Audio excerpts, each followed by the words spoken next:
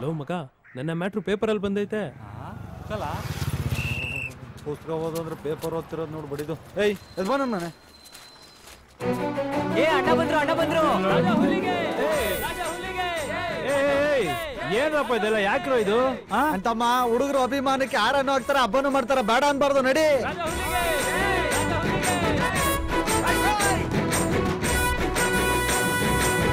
ಅಯ್ಯೋ ಅದೇನ್ ಮೋಡಿ ಮಾಡವನು ಐಕ್ಳು ಇವನಂದ್ರೆ ಸಾಯ್ತವೆ. ನೋಡ್ತಾ ನೋಡ್ತಾ ಎಲ್ಲೋ ಹೋಯ್ತಾವನೆ. ಏನಾಯ್ತದೋ ನಾವು ನೋಡವ. ಏನು ಇದೆಲ್ಲ? ಇದನ್ನ ಯಾಕೆ ತರಕ್ ಹೋದ್ರೆ?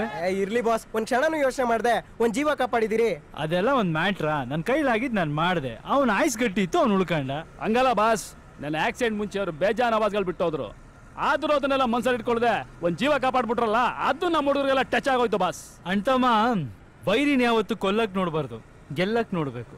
ವೈರಿಗಳಿಲ್ದೆ ನಾವು ಬದುಕ್ಬೋದು ಆದರೆ ಬೆಳೆಯಕ್ಕಾಗಲ್ಲ. ಇದು ನಿನಗೆ ಇಲ್ಲಿ ಹ್ಮ್.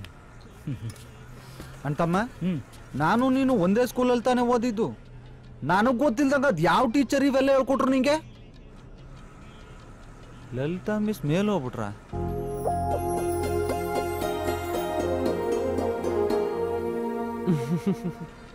ನೀನೇನ್ಲ ಕಿಸಿತಾ ನಿಂತಿದ್ಯಾ? ಹೋಗ್ಲಾ? ಅವಳಿಗೆ ನಿನ್ ಮನ್ಸಲ್ಲಿ ಇರೋದನ್ನೆಲ್ಲ ಹೇಳ್ಬಿಡು. ಹ್ಮ್. ಹ್ಮ್.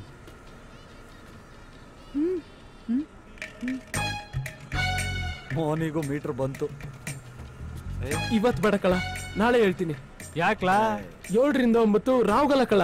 ನಾಳೆ ಏಳರಿಂದ ಒಂಬತ್ತು ಯಮಗಂಡ ಕಾಲ. ನೀನ್ ಆ ಕಾಲ ಈ ಕಾಲ ಅಂತ ಅವಳು ಪ್ರಪೋಸ್ ಮಾಡ್ದೆ ಕೂತಿದ್ರು ಅವಳಲ್ಲ. ಅವಳು ಕಾಲೆಲ್ಲ ಕಿರಿ ಎಕಡೂ ಸಿಗಲ್ಲ ನಿಗೆ. ನೀನ್ ಮೊಕ್ ನಾನು. ಬಡಿದೆ ನಿನ್ನಂತವ್ರಿಂದಾನೆ ದಿನಾ ಬೆಳ್ ಬೆಳಿಗ್ಗೆನೆ ಒಂದೊಂದ್ ಟಿವಿ ಚಾನಲ್ ಒಬ್ಬ ಜ್ಯೋತಿಷಿ ಕೂತ್ಕೊಳ್ಳೋದು ಹೈ. ಇದೇನ್ ಕರ್ಮ ಗುರು? ಹೋಗ್ ಒಂದ್ ಹುಡುಗಿ ಪ್ರಪೋಸ್ ಮಾಡಕ್ಕೂ ಶಾಸ್ತ್ರ ಕೇಳಂಗಾಯ್ತಲ್ಲ ಹೋಗಿ ಇಟ್ಟು ಮಲ್ಕೊಂಡ್ಬಿಟ್ಟವೆ ವಾದ್ಯಾ ಐ ಕೂಲ್.